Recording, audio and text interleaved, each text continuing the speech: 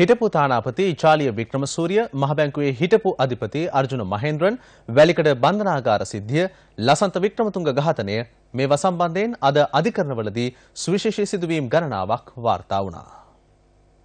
හිටපු මහ බැංකු අධිපති අර්ජුන් මහේන්ද්‍රන් මහතා අත්අඩංගුවට ගැනීම සඳහා රතු නිවේදනයක් නිකුත් කරන්නයි ජාත්‍යන්තර පොලිසියෙන් ඉල්ලා ඇති බව අපරාධ පරීක්ෂණ දෙපාර්තමේන්තුව අද කොටුව මහේස්ත්‍රාත් අධිකරණයට දැනුම් දුන්නා.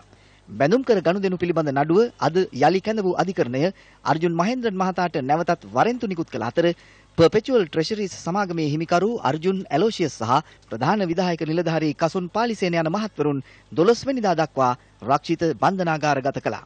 මේ අතර ඇප ඉල්ලා ඔවුන් ගොනු කළ අභියාචනයද අද විභාගයට ගැනුණු අතර මැයි මාස 18 වෙනිදා දක්වා එය කල් දැමුනේ එදිනට නීතිපතිවරයාට කරුණු දැක්වීමට අවස්ථාව සලසමින් තමන් තවමත් තානාපති වරප්‍රසාද දරන අයෙකු බවට නියෝගයක් ඉල්ලා ඇමරිකාවේ හිටපු තානාපති ජාලිය වික්‍රමසූරිය මහතා ගොනු කළ පෙත්සම අභියාචනාධිකරණය අද ප්‍රතික්ෂේප කළා.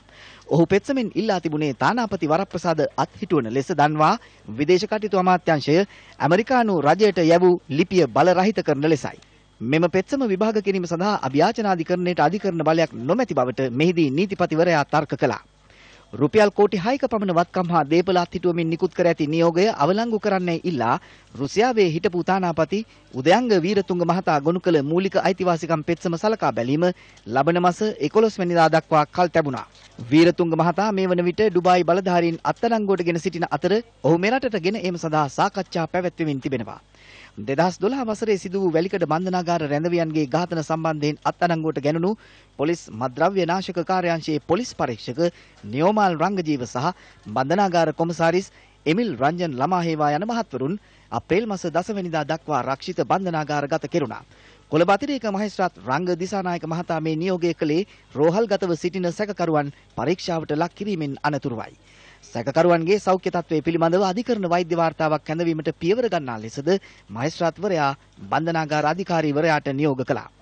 ලසන්ත වික්‍රමතුංග ඝාතනය සම්බන්ධයෙන් අත්අඩංගුවට ගෙන සිටින හිටපු නියෝජ්‍ය පොලිස්පති ප්‍රසන්න නානායක්කාර මහතා ලබන 9 වෙනිදා දක්වා යලි රක්ෂිත බන්ධනාගාරගත කෙරුණා.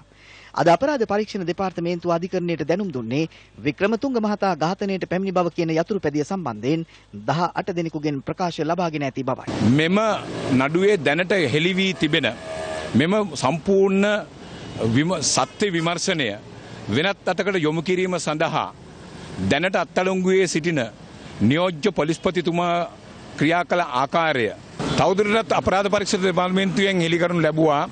හිටපු ජනාධිපතිතුමා යටතේ සේවය කළ එහි කාර්මාණ්ඩලයේ ප්‍රධානයා ලෙස කුමාරසිරි හෙට්ටිගේ මහතා මේ තුන්වෙනි සැකකරු බැලීමට බන්ධනාගාරයට ගිය බවත් නමුත් ඔහු සඳහා විශේෂ අවසරයකින් තොරව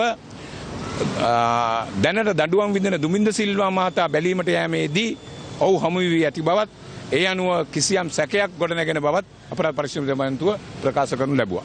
ඇවන්ගාඩ් පාවෙන අවිගබඩාව භාරව සිටි යුද හමුදාවේ හිටපු කර්නල් ඇල්ෆ්‍රඩ් විජේතුංග තිලකරත්න මහතා ලබන මාස 9 වෙනිදා දක්වා රක්ෂිත බන්ධනාගාර ගත කෙරුණා. ඒ ඔහු අද ගාල්ල ප්‍රධාන මහේස්ත්‍රාත් නිශාන්ත පීරිස් මහතා හමුවට ඉදිරිපත් කිරීමෙන් අනතුරුවයි. අපරාධ පරීක්ෂණ දෙපාර්තමේන්තුව විසින් සැකකරු අත්අඩංගුවටගෙන අධිකරණයට ඉදිරිපත් කළා. නීතිය හා සාමය භාර අමාත්‍යංශය හිටපු අමාත්‍යවරයාගෙන් වෙනස් කරලා මාසයක් යන්නට කලින් අපිට පෙනෙනවා යම් යම් ප්‍රගති. මේ මාසයේ ඇතුළත අපි දකිනවා මේ අපරාධවලට සම්බන්ධ පුද්ගලයන් රැසක් අත්අඩංගුවටපත් වෙනවා. උදයන්ග වීරතුංග අත්අඩංගුවටපත් වෙනවා. ඒ වගේම අපි දැක්කා මේ සිරකරුවන් ඝාතනය කරපු ඒ සිරකරුවන් 27 දෙනෙක් ඝාතනය කිරීම මුල් කරගනිමින් සැකකරුවන් දෙදෙනෙක් අත්අඩංගුවටපත් වෙනවා. ඒ වගේම ඇවන්ගාඩ් ඒ ආයුධ ගබඩාව සම්බන්ධයෙන් ඒ ආයුධ ගබඩාව භාරව සිටපු කර්නල්වරයා අත්අඩංගුවටපත් වෙනවා. ඒ වගේම අපි දැක්ක ලසන්ත වික්‍රමතුංගගේ ඝාතනයට සම්බන්ධ තොරතුරු රැසක් හෙළිදරව් වෙමින් තිබෙනවා. ඒතර මේ ආකාරයට අපිට පේන්න තිබෙනවා මේ අමාත්‍ය ධූරය හිටපු අමාත්‍යවරයාගෙන් වෙනස් කිරීමත් සමගම ඉතා ඉක්මනින් ප්‍රතිඵල ලැබෙනවා. හාස්කමක්ද මේවා? හාස්කමකින්ද වෙන්නේ? හිටපු නීතිය හා සාමය භාර අමාත්‍යවරයා චේතනාත්මකව ඕමනාවෙන් මේ සම්බන්ධයෙන් කටයුතු නොකළ බව මේ පිළිබඳව ප්‍රෝසි සංවිධාන විදියට අපි දිගින් දිගටම විවේචනය කළා. දිගින් දිගටම විවේචනය කළා. අපි කිව්වා සමහර සැකකරුවන් සමහර සැකකරුවන් හිටියේ මේ පුද්ගලයන්ගේ නිවසේ ගෙවල් වල. ගෙවල් වල හිටියේ. ආ, සමහර අය වත්තරංගුවට ගන්නවා සමහර අය උසාවියට දානවා උසාවියෙන් අ, අප ලබාගෙන ඉන්නේ සමහර මේ මේ ඇමතිවරුන්ගේ ගෙවල් වල මේ විවේචනය අපි දිගින් දිගටම කළා. හැබැයි අපි ඉල්ලා සිටියා මේ වෙනස්කම කරන්න කියලා. දැන් වෙනස්කම කළා මාසයක් වගේ ඇතුළත. මාසයකුත් ඇති නැති තරම් අපිට දැ- අපි දකිනවා ප්‍රගතියක්.